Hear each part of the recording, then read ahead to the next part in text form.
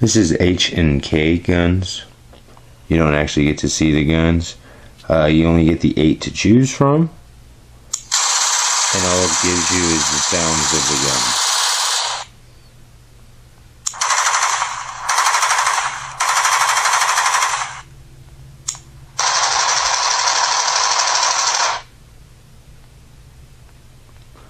And then the sound just cut out on me.